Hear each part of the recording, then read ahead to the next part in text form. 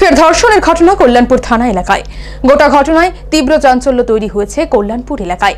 সামাজিক অবক্ষয়ের ঘৃণ্য নিদর্শন স্থাপন পূর্বক। এবার নিজ মামিমাকে রাতের আধারে ধর্ষণ করে গারদে গুণধর ভাগ্নে। চাঞ্চল্যকর এই ঘটনা কল্যাণপুর থানা এলাকার উত্তর ঘিলাতলি এডিসি ভিলেজের অধুনিয়া মুন্ডাপাড়ায়।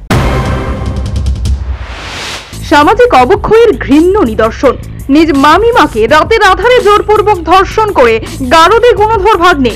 ঘটনা সম্পর্কে কল্যাণপুর থানায় ওসি জানান, শুক্রবার গভীর রাতে কল্যাণপুর থানা এলাকার উত্তর ঘিলাতুলি এডিসি ভিলেজের অধুনিয়া মুন্ডা পাড়ায় অভিযুক্ত বিষ্ণু মুন্ডা তারই সম্পর্কে মামি এবং দুই সন্তানের জননীর ঘরে প্রবেশ করে পরিবারের অন্যান্য সদস্যদের অনুপস্থিতির সুযোগ নিয়ে ধর্ষণ করে বলে অভিযোগ। শুধু তাই নয় তার বিরুদ্ধে মামিকে মারধর করারও অভিযোগ উঠছে। অভিযোগ হাতে নিয়ে যথেষ্ট তৎপরতার সাথে কল্যাণপুর থানার পুলিশ অভিযুক্ত বিষ্ণু মুন্ডাকে গ্রেফতার করেছে। ঘটনার পরিপ্রেক্ষিতে অভিযুক্ত ভাগ্নে বিষ্ণু মুন্ডাকে পুলিশ গ্রেফতার করেছে।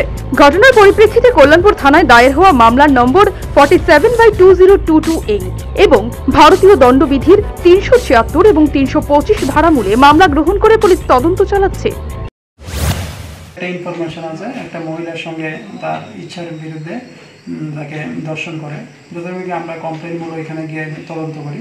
তখন একটা জানতে পারি যে পঁয়ত্রিশ বৎসরের একজন মহিলাকে তারই আত্মীয় নিকট আত্মীয় সম্পর্কে বাগিনা লাগে। গতকাল রাত্রে অনুমানিক তার ঘরে ঘুমিয়েছিল বারোটার দিকে তাকে মানে দর্শন করে। তারপর আমরা আইনানুগভাবে একটা ভারতীয় সংবিধানের থ্রি সেভেন্টি সিক্স এবং থ্রি টোয়েন্টি ফাইভ দ্বারা একটা মামলা নেই।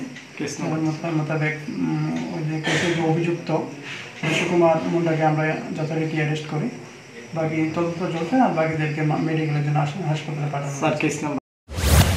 উল্লেখ্য নাবালিকা গণধর্ষণ কাণ্ডের রেশ কাটতে না কাটতেই ফের ধর্ষণের ঘটনা কল্যাণপুর এলাকায়। এই ঘটনার খবর চাউর হতেই গোটা এলাকায় ব্যাপক চাঞ্চল্য তৈরি হয়েছে।